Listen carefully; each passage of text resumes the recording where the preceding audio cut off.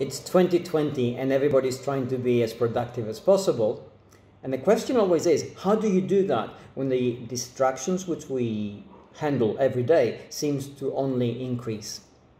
And really, the answer is as simple to say and articulate as it is difficult to do. Focus on what is really important to you, and then everything else becomes easier around it. But in order for you to understand what is important, you need obviously to know who you are, what you do, why you do it, and what your purpose is. So there you are. Start from there. I hope this helps.